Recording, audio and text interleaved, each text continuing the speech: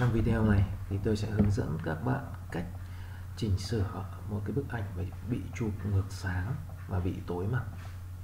À, thao tác thì rất là dễ, chúng ta sẽ à, làm bước đầu tiên là chúng ta à, nhân bản một cái layer mới.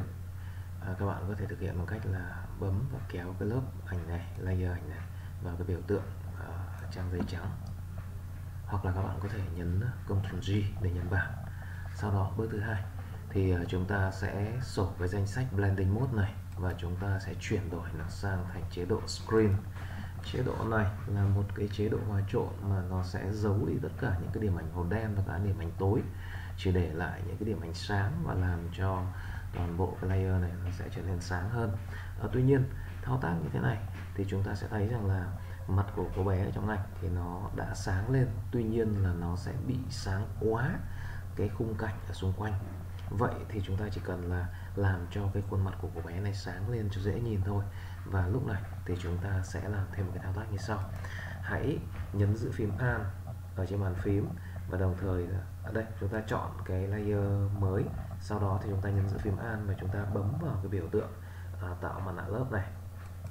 Bình thường thì à, chúng ta nhấn tạo mặt nạ lớp thì nó sẽ tạo ra mặt nạ trắng. À, tuy nhiên là khi chúng ta nhấn nam thì nó sẽ đảo ngược lại và tạo ra một mặt nạ đen. Và bản thân nó sẽ che hết toàn bộ cái um, chế độ sáng mà chúng ta đã áp dụng cho cái layer này. À, tuy nhiên chúng ta sẽ khôi phục nó ở trên cái cô bé này bằng cách là bấm vào công cụ brush tool. Sau đó thì ờ, chúng ta xác nhận là cái uh, màu tiền cảnh này là màu trắng và hãy bấm chọn vào cái phần mặt nạ đen này sau đó thì hãy tô vào ờ, cái phần liên quan tới cô bé này. Thì chúng ta sẽ thấy là xuất hiện một cái phần màu trắng ở trên cái ờ, mặt nạ màu đen này. Và phần này thì tương ứng với cái phần mà nó làm lộ ra tất cả những cái hiển thị ở chế độ screen này.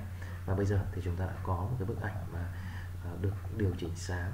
Cô bé này thì sáng lên nhìn mặt mày thì rõ ràng hơn. Tuy nhiên là nó không ảnh hưởng tới cái khung cảnh à, xung quanh.